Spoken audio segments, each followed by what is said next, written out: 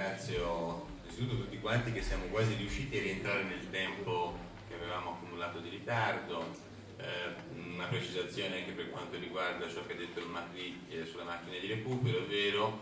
um, oltre vent'anni fa in alcuni casi quando era del tutto sconosciuta questa metodica abbiamo accettato di mettere in alcuni ospedali in comodato per la verità macchine di recupero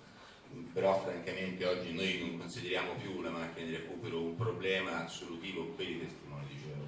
Vediamo, poi ne parleranno meglio i, i relatori, che sia una cosa doverosa per la sanità pubblica. Comunque per la posizione religiosa sulla macchina di recupero avrete modo di ascoltare anche nelle relazioni che adesso seguiranno qual è la posizione del testimone di Geova sia su questo, su alcuni moderivanti, sulle albumine,